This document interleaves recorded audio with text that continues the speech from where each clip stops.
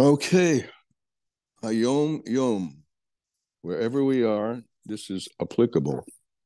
Let's see how if we can see how it applies. 14 Cheshvan. Okay, well, right away. The pasuk from God are man's steps established. Everything that's happening now is just what's supposed to be happening. Every one of Israel has a spiritual mission in life, which is to occupy himself with the work of construction, to make building what?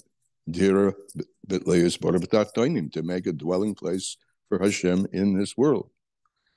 Everyone, regardless of his station or location, well, must through an exhaustive search seek out a spiritual livelihood with all the intensity of his strength, just as he seeks a material livelihood. That's amazing because this is happening all over the world. Those who can't engage or who are not privileged, I would say, to engage physically in with a rifle are engaged physically with, as Rivka's picture show, supplying food, supplying things, are engaged, engaged spiritually with as we are learning davening. And I just want to repeat this with an intensity of strength. The same intensity of strength as if you were seeking, as this was part of your earning your daily bread. This is so because, as the above verse concludes, he desires God's his, meaning God's ways, as is written of Abraham. For I know and love him because, etc., etc. They will keep the way of Hashem. In other words, Avram, God's love for Avram wasn't based on Avram climbing the rung of discovery and coming to him and expressing his, that is, Abraham's love for God. God's love of Abraham was based on Avram's commitment to command his children to do mitzvahs. So there are two ways the way of nature and the way that transcends nature. In other words, to get involved, al and lamayla min as we say in, English, in, in Hebrew. God created the universe in such a way that in man's eyes it appears to follow a set pattern of nature. This is so called the way of Elohim. Torah and mitzvahs are the way of Havaya. Elohim, we've learned over and many times, is the aspect of God as God contains himself in the Tzimtzum, and Havaya is the uh, enlivening, bringing into being force that uh, propels that Elohim, Havaya Elohim. And we want to develop, and we've been talking a lot about meditating on developing eyes to see through nature, through Elohim, the Havaya that's invested in it, drawing that which transcends nature into nature. By virtue, and this is what we're doing in this day and age, we are Lamaylam Yahateva, coming to our essential connection. And it's there's one one one parsha after another about Abraham. And Abraham goes on a journey. Lech Lecho. It starts this past Shabbos. We read to himself. He finds, he discovers under pressure, he discovers his real self, Lamailam in and he transcends that, that, that Teva, his nature, into above nature. And it operates from Lamailam in Hateva, from higher than nature. By virtue of this contact of Israel, God endows Israel. Uh, like the face you show to the water, you face the face you that's the face you get back. So when we operate Lamailan Hateva, by virtue of this conduct of Israel, God endows Israel from that which is beyond nature into the natural. He will bring victory. No question.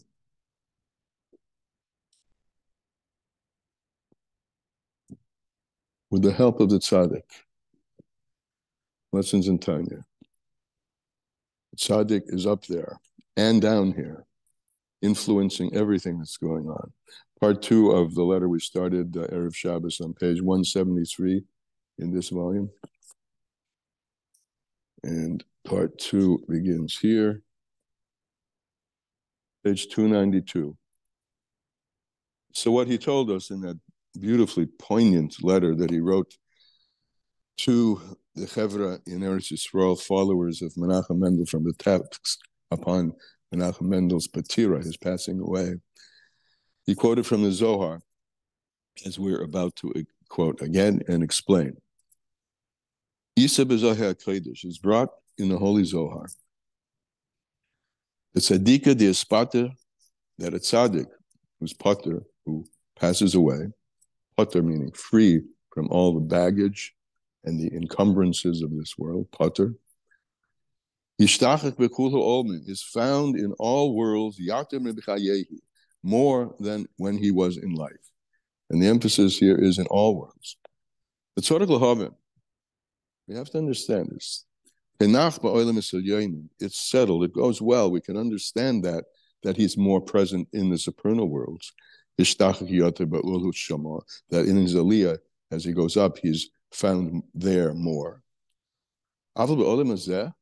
How is he found more in this world? How is he found more in this world than when he was in this world?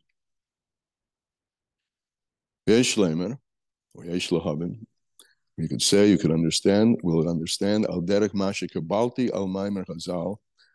We'll understand this according to the, what the Alter Rebbe is saying. We'll understand this according to what I, the Alter Rebbe, have received as a teaching on the saying of Chazal, of our sages saying, the Shavich Hayim Nekol Chai. That means that he leaves life to all the living. And he has a teaching on this, the Alter Rebbe. Kanaides is known. Leaving life to all living, he's taught, he's been taught the Alter Rebbe. It's what does that mean? What does he give when he's in his life? What is he giving? He's giving is not the life of his flesh. You know, the tzaddik in his life doesn't give his fleshly life to others. Kim chaim ruchnim what he is giving in his life is he's giving spiritual life. He's a spiritual leader. He's a spiritual infuser, an infuser of spirit in each and every one of us. That's the tzaddik. And what is this life, this spiritual life, life force? It resolves to three major midos: emuna, faith, yira, his awe or fear of Hashem, the ava, and his love. This is are his teachings his teachings and his drawing us close and instructing us and drawing us close in how to live with Amuna, with Yira, and Abbas Hashem. Now he takes each one. Kirmuna Kasi, about Emuna, it's written in Habakkuk. The tzaddik yichya. The tzaddik lives with his Emuna. This is where he's at. He's constantly Mamin in Hashem, Mamin in Hashgacha Pratis, Mamin in Kol, that everything is good because it all comes from Hashem, because his view of the world is the view of Hashem infusing only goodness into the world constantly. And so that's a view that's not a Seicheldik view, that's a view that comes from deeper than Seichel, from Emunah. Ubiyira Kasib, and about his awe or fear of Hashem, Yirash Hashem, Hashem L'chaim. It's a pasuk in Mishle. Fear or awe of Hashem, it gives life. Uhava and, and about love, it's written Vechesed. That a person, this is in Habakkuk, a person should pursue, should run after love, meaning tzedek, righteousness, and kindness. And when a person, a person who does that, yim you'll find life. If you run after giving, giving, giving yourself away with love, with tzedek and chesed, you will find life. The chesed hu abba. Chesed, of course, is the mida, the outcome of which of, of that mida is love. The shlosha midas elu, and these three midos, heim bechol olam be'olam. So these midos, right? We know that we have ten powers, and they are models of the ten sefiros. So amongst those powers, we have Amuna, we have the sphere of Chesed, we have this uh, Chesed and Gevura. So these many, midos are models of and sort of diminutions of, but entirely connected with all of these models as they exist in the 10 spheres, up and up and up and up in all the worlds. So these midos are in all the worlds. Adhraim hama'ilas to the highest levels. Akolafi erech bechinas ma'ilas oilinis. Each one of these midos has an expression. These three midos of Amuna, Yira, and Ava have an expression according to the world that is that they're being expressed in.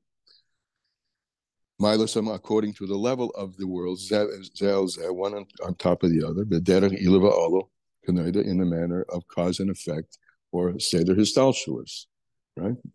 Uh, Atzilus is mistalshal bria, yitzira asiya, and the love We'll take, for example, the love that we have down here is a model of a much deeper level of love, which goes on in Bria and then a deeper in Atzilus, etc., etc. While the tzaddik was in life on the face of this earth, these three midos of Amuna, Yira, and Ava, these three midos were b'taich kli ulevush. They were contained in the vessel and the body and the garment, which was his body. The bechinas makim gashmi in a physical place. Shehi bechinas nefesh hakashura begufoy. Right in the level, in terms of levels of the soul, from yechida down to nefesh. Nefesh is the part of the soul that's connected with the physical, and these three midos were when the tzaddik was in life, as were connected with his nefesh hakashura begufoy, the part of the soul that's connected with the body. And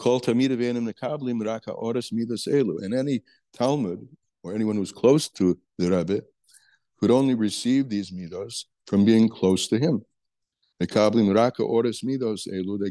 array of these midos, zivon and a shine from them. Ameir Hutzlekli, as these midos shone outside the keli of the body. How? Through the tzaddik speech, Al Yedei Umat Shavtoy, and the writings of the tzaddik and the expressions of the tzaddik's thought, of his holy thought. We'll repeat Al Yedei Kedoshim, through his holy speech and thought. Uh, uh, yeah, yeah, yeah. Today or tomorrow? Tanya, what? where are you? You're on tomorrow's Tanya? Oh, am I? okay. I get unrestrained. Okay. You are absolutely right. I'm way into tomorrow's Tanya. Thanks for pointing it out to me. It's a good story, though. It's hard to stop. But I guess we will in order to keep our Seder here. Okay. Well, thank you very much for uh, pointing it out to me. Sarah, you want to say something? Sarah in Israel, you have your hand up. No, you took it down. Okay. Anybody have any questions on what we're just saying? So obviously, where we're going here, right? I think it's obvious that when the tzaddik passes away, there's an unboundedness because all of these things they don't disappear. They, nothing disappears. They just move up to higher levels, and on the notion that the higher it is, the lower it falls. So there's a much bigger expression when the tzaddik comes out of the body. And we'll get into that. Thank you, Beth, tomorrow. Uh, there is a hand up here. Uh, Riza, your hand's up. Oh, good morning. Good morning. Yes. Good morning. Um, you know, I always feel frustrated. I often, I shouldn't say always, I often feel frustrated we learn something so beautiful and then we just go into a day wait a minute wait hold on we have to hold on i mean we're forgetting the whole title of this class ubechain. We have to take this into the day with us. So yeah. if we're not doing that we're not doing our job here. So you want to suggest something? I just the only things like that are coming to my mind are small things. One thing is in if you want to connect with the Rebbe, um, whatever sefer you might have in whichever language you feel most comfortable with, to learn some sure. of his Divrei Torah. Because whenever, I mean, now we're learning the Torah of the Baal HaTanya, so right now we're connecting with the Baal HaTanya, that is yep. Rosh Zalman Bera Baruch. But through learning, uh, or even stories, uh, that's how we can that's one way that we connect because they yes, well, uh, there's a concept of that that tzaddik has life when his words are repeated well, right well that's actually we said that today in the portion that we were supposed to say today that the yeah. tzaddik he's he leaves over he gives words and he gives thoughts now we don't hear the, the speech although i must say thank god for new, the technology technological age we live in. I mean, we have video of the Rebbe, And I don't know how, how many of you in the shulls that I that are in Crown Heights. I don't know if this is true other other places. It's true in all the Chabad houses. Every Motzei Shabbos they show a video of the Rebbe, and for the past few weeks, you can imagine all the videos have been the Rebbe's teaching about what to do exactly now in terms of handling the, the, the gross offensive of the negative forces. And so we have even his words and his picture. And we can You don't have to wait for Motzei Shabbos. It's online. Can, it's all you can do it every day. You can get you can get a WhatsApp for a video every day. right. And and and in a more traditional mode, as uh, as Reza says, there there are the Sephorim, which you can pick up every moment of your life when you have a moment. So yes, so we we have plenty to take into the day from this little piece of Tanya. We have the Rebbe and those teachings uh, to march with and to live with. And they're so important. I mean, look, it's, it's trivial to, for me to say they're so important. What I mean is they're so essential right now because to the degree that we can be distracted into, God forbid, negative thoughts, these are anchors of positive positivity that we need to live with. And we have them, Baruch Hashem. So thank you, Raisa, for giving and, us. And, and, and in addition, um, I have there's somebody who used to come to Tannersville. Um, her name is Sharon Goodman. So she's very artistic and she makes these beautiful. Um, it's like to give out for for candle lighting. These beautiful neshek bags. So she got busy making uh, probably a hundred of them to give out. Okay. So we'll all close this Tanya session today by a commitment to getting busy today with whatever it is that we can get busy with to bring Geula. Okay? Amen. Okay.